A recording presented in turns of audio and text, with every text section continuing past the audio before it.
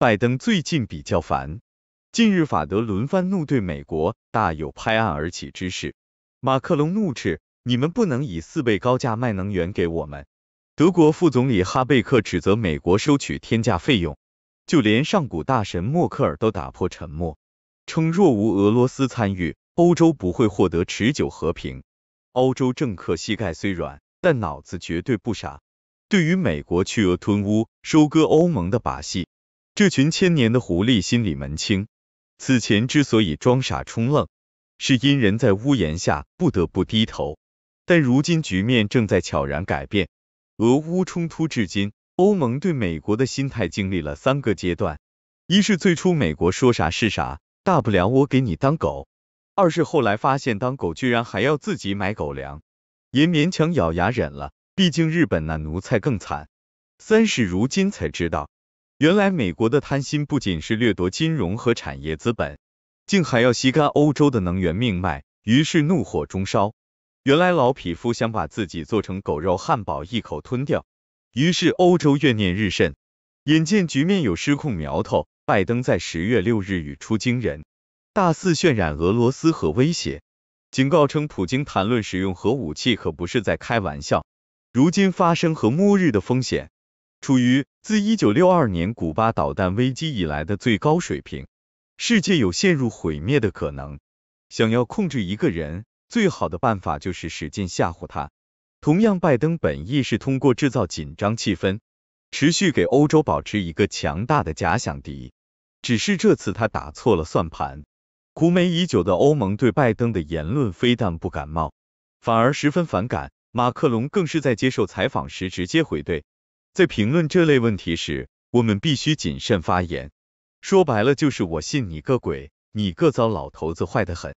为了避免留下危言耸听的形象，白宫随后出面紧急降温。白宫新闻秘书皮埃尔说：“我们看到的那些不负责任的言论，不是一个拥核国家领导人应该说的。这是我们总统非常明确的。我们没有看到任何调整我们自己战略和态势的理由。”也没有看到俄罗斯准备立即使用核武器的迹象，此情此景何其尴尬！睡王前脚刚说毛子可能要毁天灭地，白宫后脚紧跟着就表示领导人不该这么说，俄罗斯没这个打算，这不是在为拜登擦屁股，这简直就是在公然打脸，相当于昭告天下，别听总统瞎咋呼，他就一老糊涂，被法德强烈谴责，被白宫变相羞辱。被 OPEC 严缠狠狠打脸，已经足够让税王焦头烂额。然而此时共和党的一波骚操作更是令其抓狂。共和党干了什么？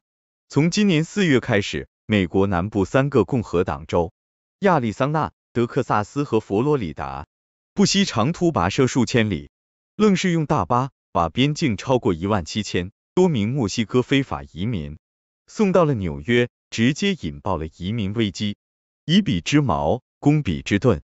既然民主党又当又立，无视激烈的种族矛盾，远距庙堂之高往死里吃移民选票的红利，那就让你们亲自尝尝被数以万计形形色色的牛鬼蛇神堵门的滋味。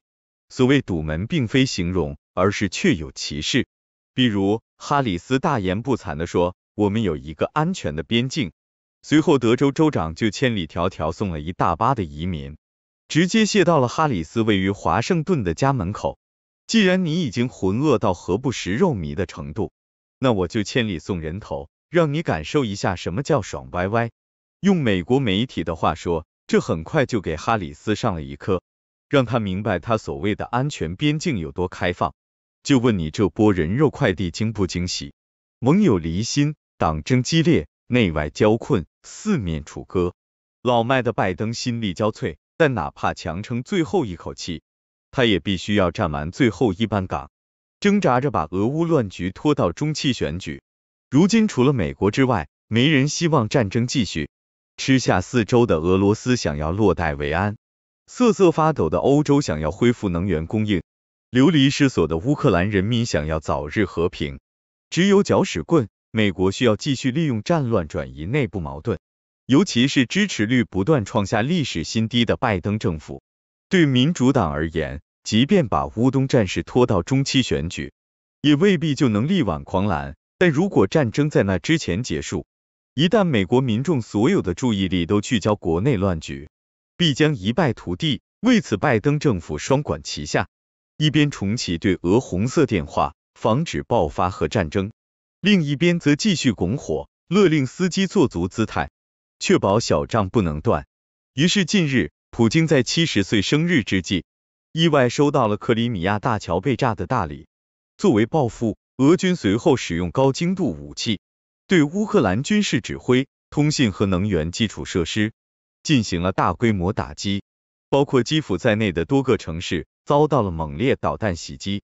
事后，俄罗斯直接点名警告了美国。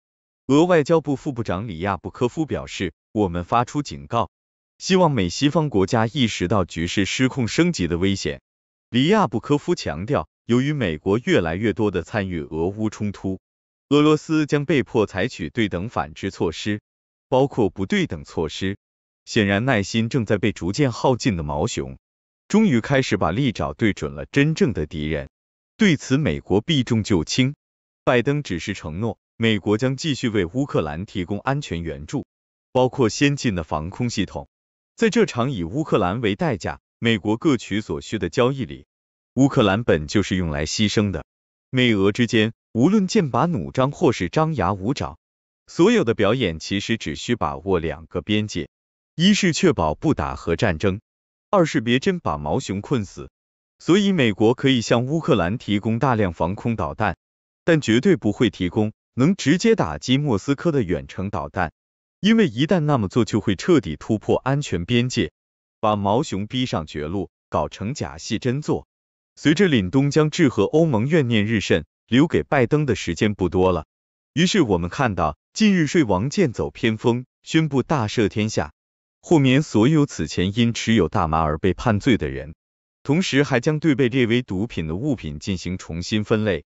为了选票，拜登孤注一掷，在推动移民泛滥和毒品合法化的道路上，税王劳苦功高，财政危机，党争激烈，毒品泛滥，社会分裂，从明末到晚清，这幅帝国没落的衰落景象何其熟悉！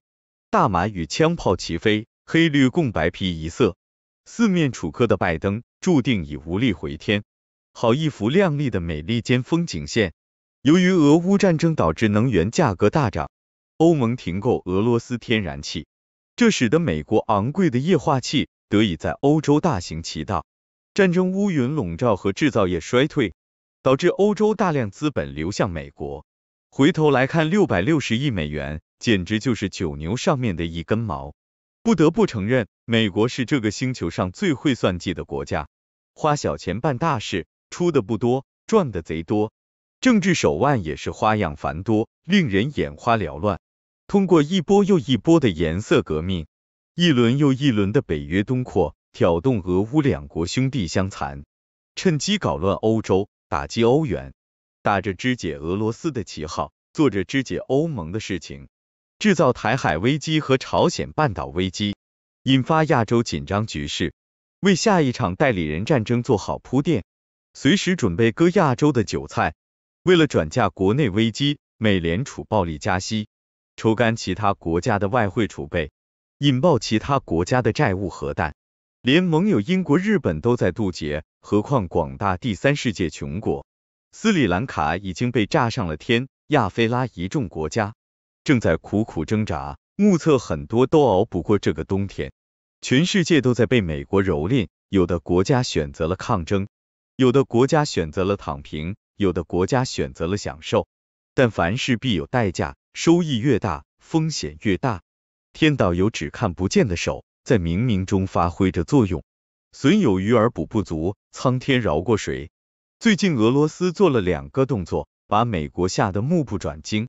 一个是把核武列车开往俄乌边境，说是要在这里进行核试验。联想到乌东四州已经入俄了，在顿巴斯核试验不过分吧？另一个是俄罗斯核潜艇别尔哥罗德号已经离开位于白海的基地，前往卡拉海测试波塞冬超级鱼雷。而英国人担心的是伦敦，因为俄罗斯最痛恨的两个国家，第一个是美国，第二个就是英国。而英国比美国弱很多。正常情况下，俄罗斯人会杀鸡儆猴，先挑软柿子捏，用海啸给英格兰洗个大澡。捏完了英国这个烂柿子，估计美国吓得把眼睛捂住，装作看不见，什么也没发生。毕竟死道友不死贫道是美国人的第一生存要义。话说回来，不管是核武列车还是超级鱼雷，都是毁天灭地的大杀器，不到万不得已，俄罗斯人是不会用的。同归于尽的打法只有一种可能，就是被逼到了绝境。所以问题的本质不在于俄罗斯会不会用大杀器，而在于西方是不是要把俄罗斯逼到绝境。